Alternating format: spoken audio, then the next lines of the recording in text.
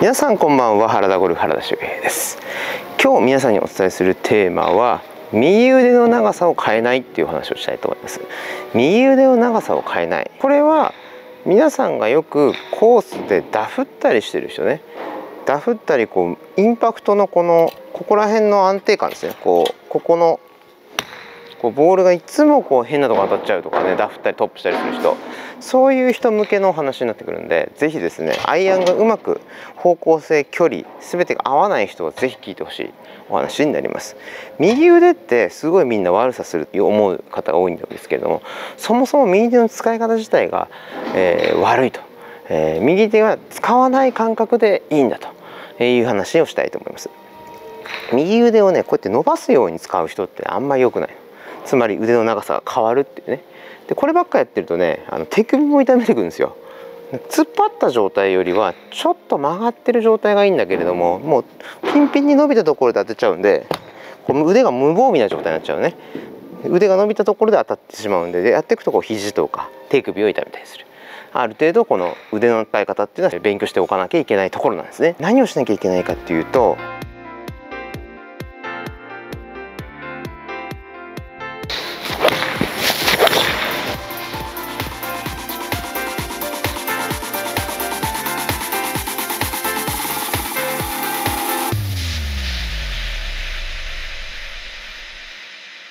どういう、え動きかっていうと右肘が先ほど言ったように曲げたままでインパクトするってことでちょっと一回打ってみますね。こんな感じで。腕はもちろん伸びてるんですよ。この時はもちろんこうやってピンとなってるの。腕をクッとこう張りを作ってるんだけど打つ時のこのインパクトのところですね。どうですか？ちょっと曲がってるでしょ？でここにフォーカスする必要ないんだけどこういう感じですね。徐々にえー、伸びていく。何でもそうですよね。曲がってるところ伸びてるところ必ずあるからこういうイメージの人はいないはずなんで。これになっちゃう人が多くて実際はこのスローモーションで見れば今の伸び伸びと振ってる。こういうスイングでも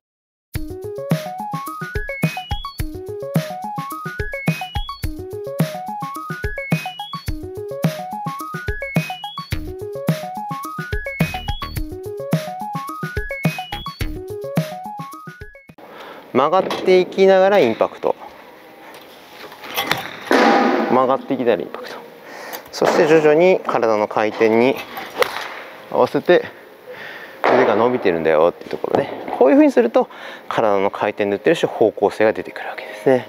ただこんなのね打つ瞬間に曲がったままってこうこういうふうにねこうなっちゃう方が多いからじゃあどうすればいいかってちょっとね練習方法を3つの手順でお話していきます。1つ目はこれをヘッドカバーを挟んで打つ。これやれない人本当多い。こういう人多いんですよ。こうやってパカーンって開く人ね。パコーンって開くの。でももう開いたらもうこれアドレスの位置に戻ってないからね。こんなところで当たったらダメですよね。ただ安定しないんですよ。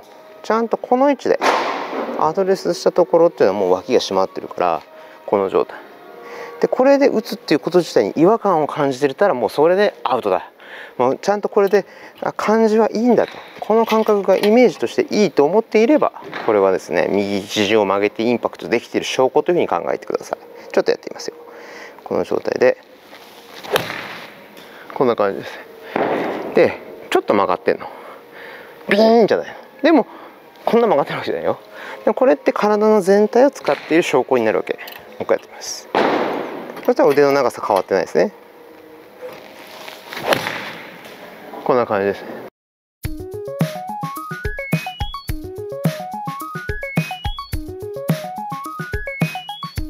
手は低い位置でしょ？こんな感じです。よくあのラウンド中このぐらいで振って方向性出す練習あ出す打ち方してるプロもいます。こんな感じですね。これで右腕の長さを変えない。このまず動きをまず覚えてください。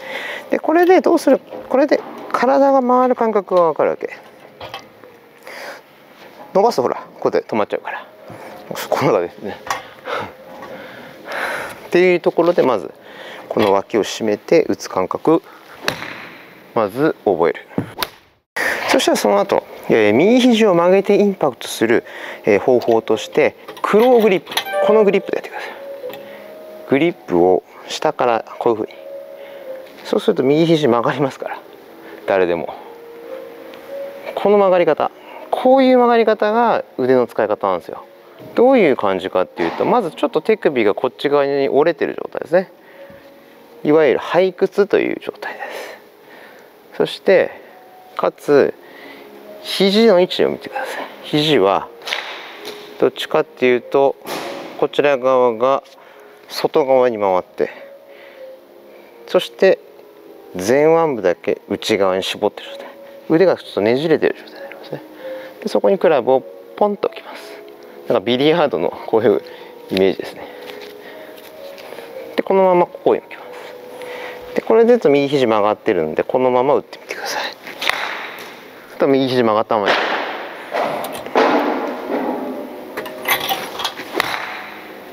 曲がったまま。絶対伸びない曲がった曲がったなんかこう「」っていう「へえ」誰だったか分かんないけどそのいうような感じです。そうするとこのクラブフェイスがあ肘が曲がったままでこう打てる感覚になるのでこれで方向性が出てきます。この練習を繰り返し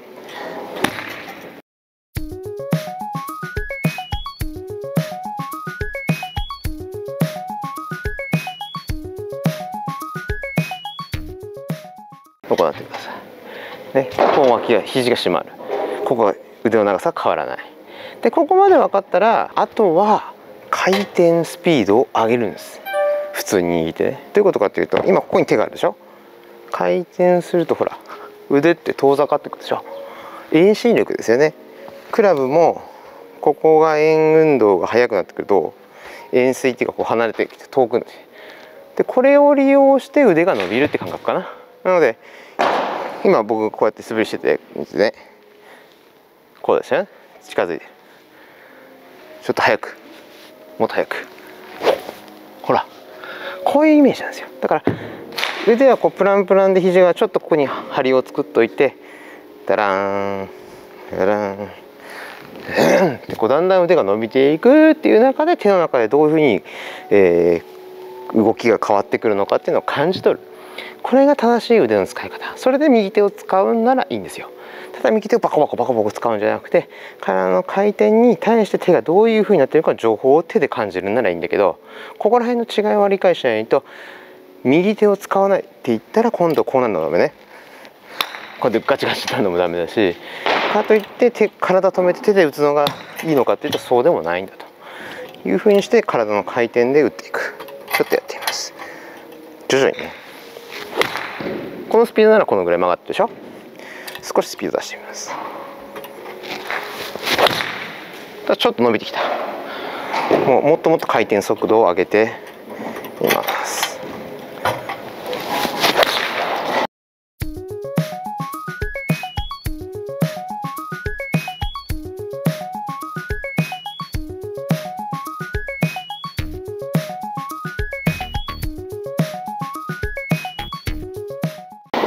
んな感じで徐々にキュンと伸びる瞬間ができ自分の中では曲がったままっていうイメージ。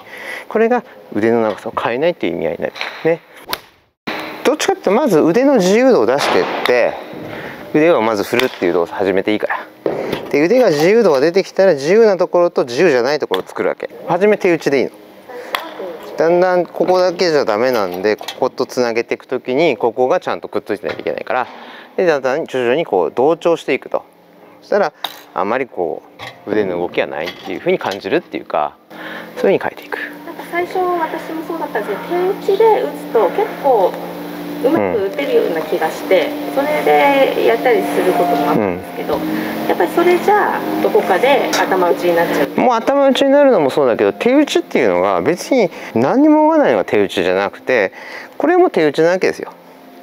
手の感じながら体です。っていうんであれば手打ちでもいいのねだからそういう風になってってやら手の感覚でもいいんだけど本当何にもこう具合でこうなってくると腕の長さ変わったりとかするからそういう意味で言うとこう体を使うっていう風になってくる。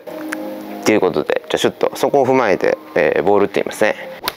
まとめです。これヘッドカバー挟んだまんまでも打てるというところをちょっとやってみます。どのぐらい腕の長さ変えないで打てるかったらこれでもねある程度打てちゃう。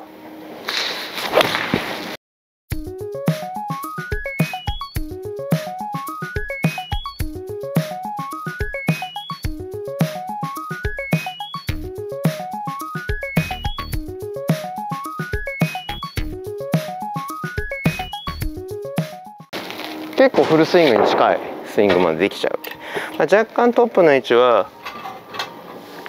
こうだけどね。ほとんど変わらないぐらい。でいける。ここはしっかり締まった状態。でこう。で最後。ぐらいかな。ぐらいのイメージになります。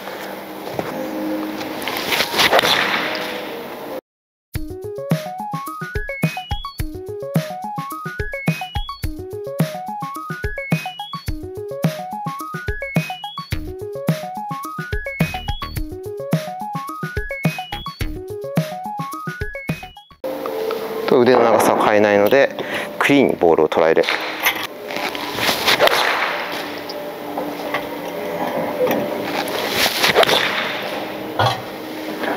はい。えー、ということで今日はね腕の長さを変えない、まあ、よくあるプロとか上級者の共通用語みたいなのあるんですよ。長さを変えないで。その意味をお話してみました、それを実際にアマチュアの方でもできる方法として今日はドリルも紹介したので是非ね練習をやってみてください。ということで、えー、このチャンネル私のゴルフスクール毎日、えー、動画でアップしてますので是非ともですね見逃したくない。方はチャンネル登録コメント高評価3つよろしくお願いします。ということで今日はこの辺で終わります。動画最後まで見ていただきありがとうございます。もし良いと思ったらチャンネル登録をよろしくお願いいたします。もっとゴルフが上達したいという方はオンラインサロンに参加してみてください。YouTube では語っていない有益な情報を発信しております。その他オンラインでのゴルフ指導も行っております。家でも学べる新しいゴルフスクール原田ゴルフオンラインサロンもよろしくお願いいたします。